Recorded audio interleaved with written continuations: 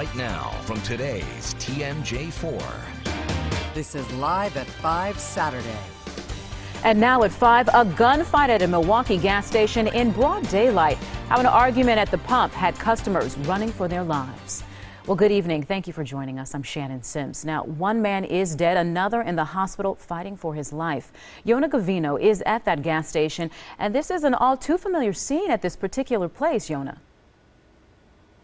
Yeah, that certainly is the case, Shannon. I can tell you that police were out here for several hours this afternoon trying to figure out what exactly sparked this deadly shootout. But you know what? This is not even the first time that something like this has happened at this gas station. And I talked to one customer who, for her, it's the second time she's narrowly missed getting caught in crossfire. It wasn't customers, but police officers who crowded this U.S. gas station. Orange cones marked evidence from a shootout, and the medical examiner snapped photos of the crime scene. Police say a 24 year old man was killed and a 42 year old man hurt after they fired at each other. It's upsetting. It's unnecessary. Why? Why at a gas station?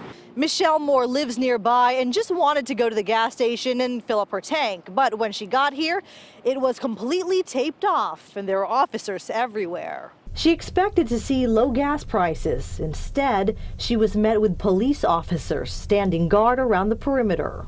I feel bad, I mean, because I don't know about coming in here anymore. I might have to go a little further now. I have to rethink this. It's especially troubling to Michelle, who just missed another shootout at this same gas station earlier this summer.